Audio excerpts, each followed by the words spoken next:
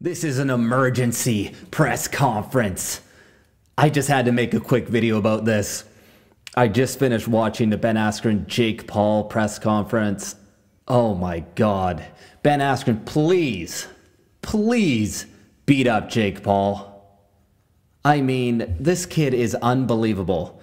If you guys didn't see it, um, was a press conference and, you know, Jake Paul is, is unbearable. I'm going to put it out there. He's unbearable. You know, he was trying to get under Ben's skin, and Ben was just sitting there. You know, he's a lot older, a lot more mature, but he was just sitting there throwing out these hilarious one liners, calling him Logan Paul's little brother. I mean, it was it was hard to watch. I mean, I know Jake's trying to promote the fight, and I understand that, but it's just not his thing. You know, he looks uncomfortable. And at the end, when they were doing their little face off, um, Ben kind of pushes he pushes Jake's face and says, "Get out of my face," and turns away. And then Jake slaps him in the rib cage and two hands him.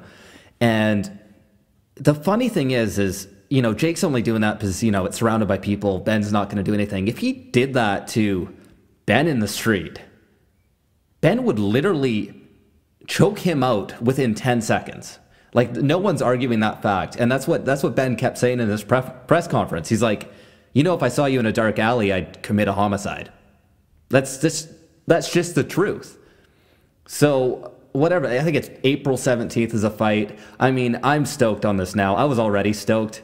Um, ben Askren saying, you know, seventh round TKO, TKO, and I believe it, and I'm praying that he does because I just it's entertaining, so I appreciate the entertainment, but you know, someone's got to put this kid in his place and I've had enough of the I've had enough of Jake Paul. You know, I I didn't follow his stuff too much before this, but I've had enough and I think he's in for a rude awakening.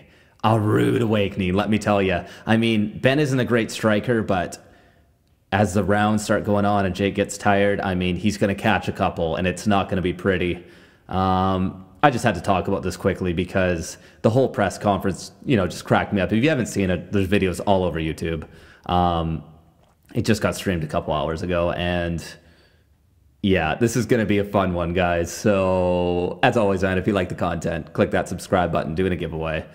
Um, 100 bucks to one of my first 500 subs. So, you like free money, click that subscribe button. And until next time, I'll see you guys around. Peace.